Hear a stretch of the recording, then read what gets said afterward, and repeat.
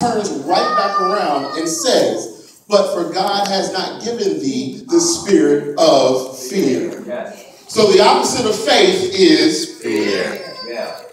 And then he comes around and says, But he's giving you power, love, and a Sound mind. Okay, so if he equates fear with faith, then that means that they can't be the same. Yeah. And they cannot dwell in the same place. Yeah. Just like light cannot dark, dwell in dark. It's impossible. If something is dark, that means it's the opposite of light. That is the definition of dark, the absence of light.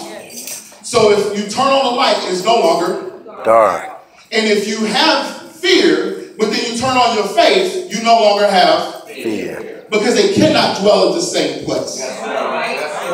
They can't. Yes. So, how do you build your faith?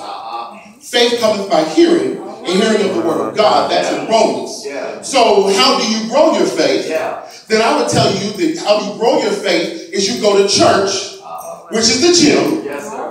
You get a workout plan from your pastor. Yes.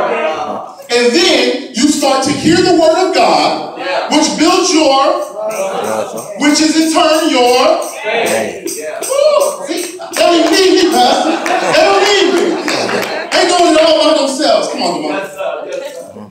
So the, the title of this whole thing, and I held off on telling you the title, is because I wanted you to get it, and this is the perfect point for it.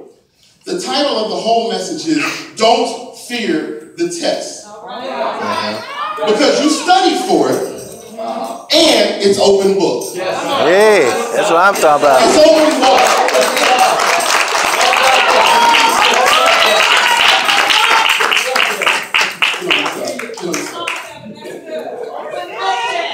So it is an open book test, evangelist. So now I didn't tell Pastor I was doing this because he'd kill me. My wife doesn't know I'm doing this because she would kill me. Well, all right. In order to grow your faith, you have to put it to the test. Yes, sir.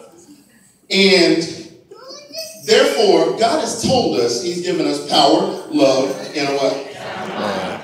Okay, so He's given me power to break this arrow. He's given me the love to do it in front of you guys so you will learn and that fear is holding us back. I love every single person in here, every single one of you. And I want to tell you that fear is holding us back from our blessings.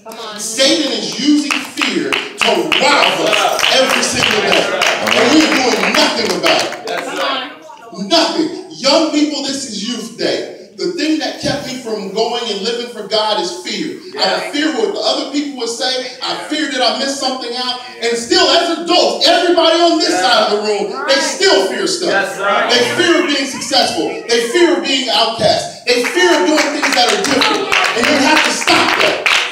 Period, point blank. Hold it up and lock it out.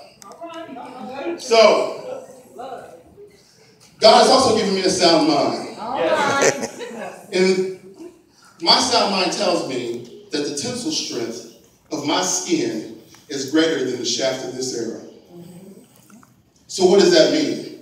That means that I can break this arrow, not off my knee, not over this podium, but I can break it with literally just my skin.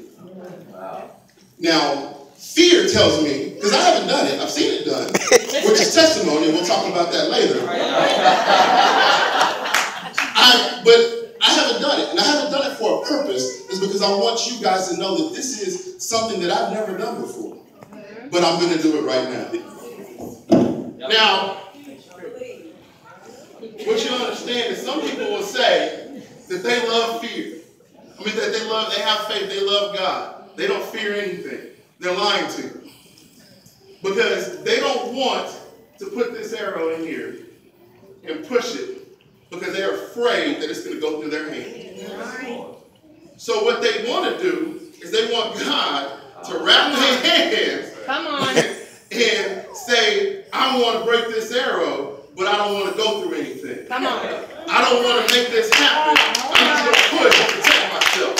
And the devil is a bold-faced liar because he will never, ever take anything else from me ever again of fear. And he's not going to do anybody in here out of fear.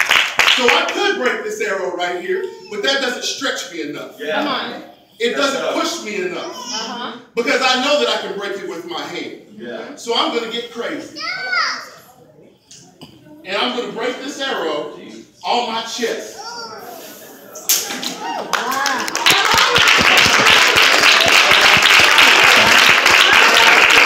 Again, one more time for me, because that's not me, that's God. And I do, I do. You say that, but I do. I really do thank the God that I made it. Because, but it's really, if you really think about it, I didn't really risk anything. I knew it was going to break. Just like I know everything in the Bible is true. And if I have that same conviction that I knew right here, then I put it in faith and I walk. Because if I walk by faith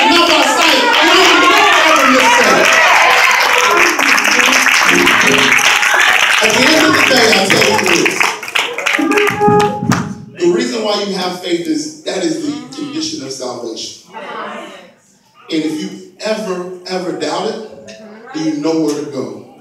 It's in the book. Thank you.